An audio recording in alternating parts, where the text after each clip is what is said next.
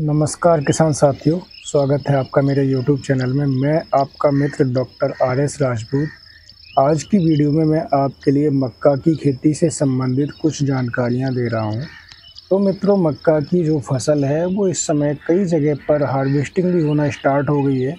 कई जगह पर अभी छोटी भी है और ज़्यादातर अगर हम केसेस की बात करें तो मक्का की जो फ़सल है, उसमें इस समय पर मंजरी बन रही है और भुंटे बन रहे हैं।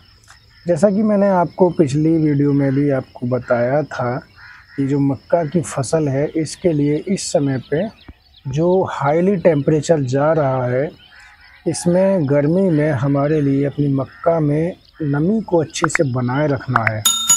नमी को अच्छे से बनाए रखने के लिए हमारे पास एक ही ऑप्शन है कि हमारे लिए अपनी मक्का की फ़सल में सिंचाई समय समय पर करते रहना है।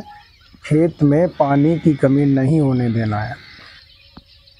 ये भी देखने को मिल रहा है कि कहीं कहीं लाइट की समस्या है या कहीं इस प्रकार का चैलेंज है लोगों के सामने जहाँ पर कि फ़सल में पानी प्रॉपर नहीं लग पा रहा है और फ़सल सूख रही है। ये जो एक टाइम है, ये बहुत ही पीक टाइम है। इस समय पे अगर मक्का की जो फ़सल है, उसमें अगर पानी की कमी होती है तो सीधा उसका जो उत्पादन है, वो उसका डाउन होता है। उत्पादन डाउन क्यों होता है? क्योंकि इस समय पे जो मंजरी बन रही है और जो भुट्टा बन रहा है तो मन, जो भुट्टा बनता है, भुट्टे में जो दाना पड़ता है, उसके बीच में एक बहुत ही बड़ा कारण है, इसको हम विज्ञान कह सकते हैं। क्योंकि जो पॉलिन है, जो मंजरी है, उस पर पॉलिन होता है। पॉलिन जब मक्का की जो भुट्टा है, उसके ऊपर जो वर्तिकाएँ होती हैं उन पर जब जो पॉलन गिरता है, तब जाके दाने में दूध बनता है और दाना प्रॉपर वो भरता है। तो हमको ये विशेष ध्यान रखना है। ऐसे में नमी अगर नहीं होगी तो हमारा जो घुंटे का साइज़ है, वो डाउन रह जाएगा। और नमी नहीं होगी तो प्रॉपर उसका पॉलिनेशन नहीं हो पाएगा। पॉलिनेशन नहीं हो पाएगा तो ज़ाहिर सी बात है कि पॉलिनेशन अगर डिस्टर्ब होता है तो दाने में दूध नहीं बनता है और दाने में जब दूध नहीं पड़ पाता है तो फिर दाना आपका नहीं बन पाता है और घंटे में जगह जगह उसकी लाइनें खाली रह जाती हैं, जिसका सीधा सा जो प्रभाव है, वो उत्पादन पे पड़ता है और उत्पादन काफ़ी मात्रा में लोगों को कम भी ऐसे में देखने को मिलता है। तो वैसे तो किसान भाई सभी इस इस समय इन चीज़ों का ध्यान भी रखते हैं और जैसा हो पा रहा है, वैसा अपना वो नमी भी लगा रहे हैं। नमी के लिए सिंचाइयाँ कर रहे हैं लगातार। तो ये ज़रूरी भी है कि हमारे लिए थोड़ा अच्छे से ध्यान रखना चाहिए। बात बाकी ये है कि हमको सिंचाई के साथ साथ कुछ चीज़ों का और भी ध्यान रखना है, क्योंकि इस समय जब गर्मी पड़ रही है और ये आखिरी टाइम होता है जब हम कोई भी न्यूट्रिएंट्स अपनी फ़सल के लिए देते हैं। क्योंकि दाने में जब मिल्किंग स्टेज होती है दुग्धावस्था होती है, उस समय पर अगर हम कोई न्यूट्रिएंट्स दे देते हैं तो वो न्यूट्रिएंट्स भी, जो पोषक तत्व, वो भी बहुत अच्छा काम करते हैं।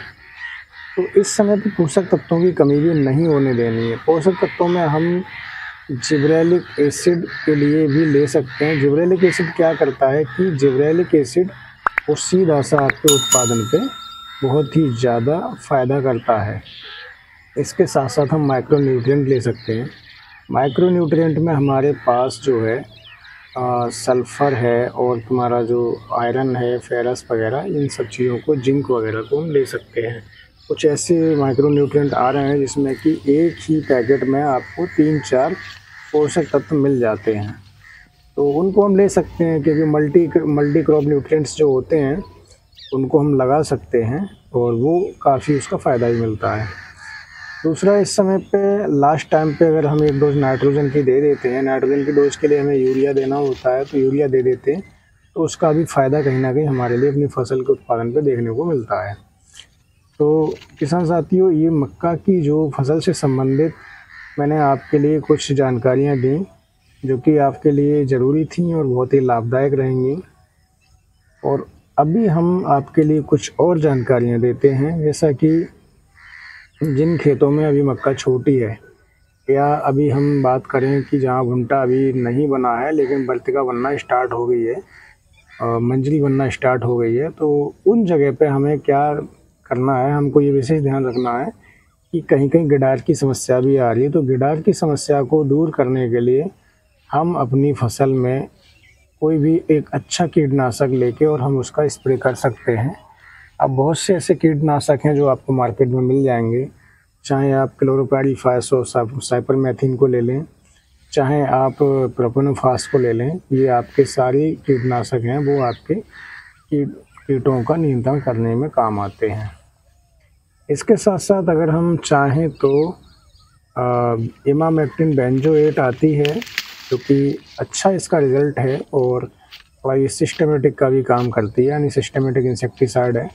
तो आपके पौधे के अंदर थोड़ा ये प्रवेश कर जाती है, जिससे कि आपका जो पौधे के लिए जो भी कीट नुकसान पहुंचाता है, वो कीट पौधे के लिए जब खाता है तो कीट फिर खाने पे मर जाता है।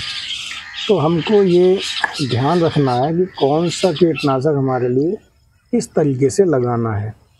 कीटनाशक लगाते समय हमको ये विशेष ध्यान रखना है कि हम जब कोई भी कीटनाशक लगाते हैं तो हमेशा जो छिड़काव है वो शाम के समय पर करें।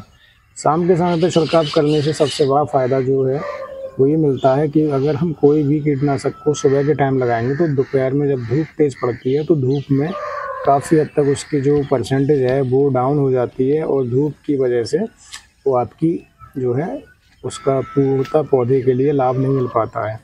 तो हमको ये ध्यान रखना है कि स्प्रे हमारे लिए हमेशा शाम के समय करनी है, जिससे कि पूर्णतः ठंडा मौसम मिलता है और स्प्रे जो आपकी अच्छा काम भी करती है और फ़सल के लिए काफ़ी उसका फ़ायदा मिलता है। तो किसान साथियों, उम्मीद करते हैं कि वीडियो आपको अच्छी लगी होगी। और वीडियो अगर आपको अच्छी लगी हो तो आप कृपया करके वीडियो को लाइक करें। चैनल पर अगर कोई नए आए हैं तो वो चैनल को सब्सक्राइब करें और सब्सक्राइब करके बेल आइकन को ज़रूर दबाएँ, यानी घंटे का जो बटन है उसको ज़रूर दबाएँ, जिससे कि हमारी आने वाली हर वीडियो की नोटिफिकेशन आपको समय रहते मिलती रहे और आपके लिए अच्छी अच्छी जानकारियाँ हम लेकर आते रहें। किसान साथियों, आपको लग रहा होगा कि मैं रेगुलर वीडियो नहीं बना पाता हूँ तो उसके पीछे की एक कारण ये है कि हम लोगों के लिए व्यस्तता ज़्यादा रहती है तो जैसे जैसे हमको कोई टॉपिक मिलता है, हम वीडियो बनाते हैं। आप लोग वीडियो को देखें और चैनल पर जुड़े रहें। धन्यवाद किसान साथियों, जय हिंद, वंदे मातरम, जय जवान, जय किसान, जय अन्नदाता।